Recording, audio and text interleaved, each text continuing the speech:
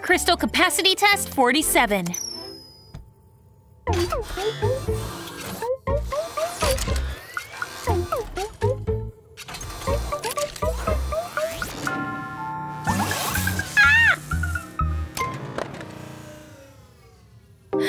Oh, sorry.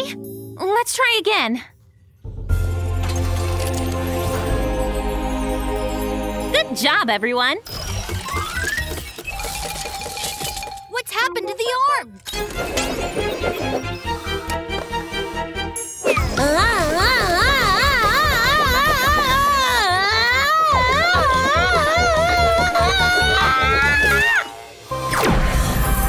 It's taking the crystal.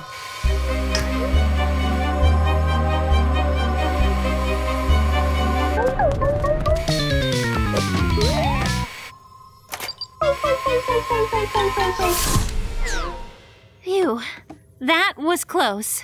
Ada, what happened to the robotic arm? Someone accessed our system and controlled the arm. This is a cybersecurity problem.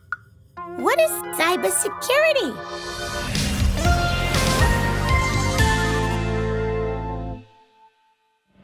If we're away from home for the day, or when we go to sleep at night, we protect our homes from burglars by locking the doors. Similarly, we should be just as careful while using the internet and secure our computers from cyber attacks.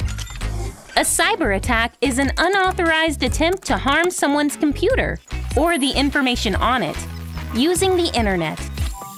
Securing our computers and personal data from harm, theft, and unlawful use is called cybersecurity.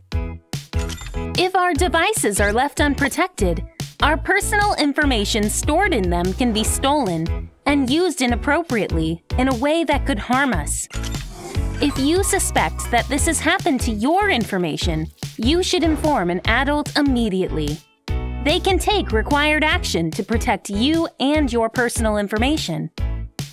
Just like how we want to keep the valuables in our house safe, it's important that we keep the data stored on our computers safe. Now I understand cybersecurity. Ada, what if someone tries accessing our system again? Don't worry, I'm updating our system to protect our devices. And done. The arm is safe now. Yay! But who could have hacked the robotic arm? No, not again. Access denied. I almost had the crystal. The trolls feel safe now that the lab system has been secured with the latest cybersecurity updates. Talk to your family about how they protect their personal information.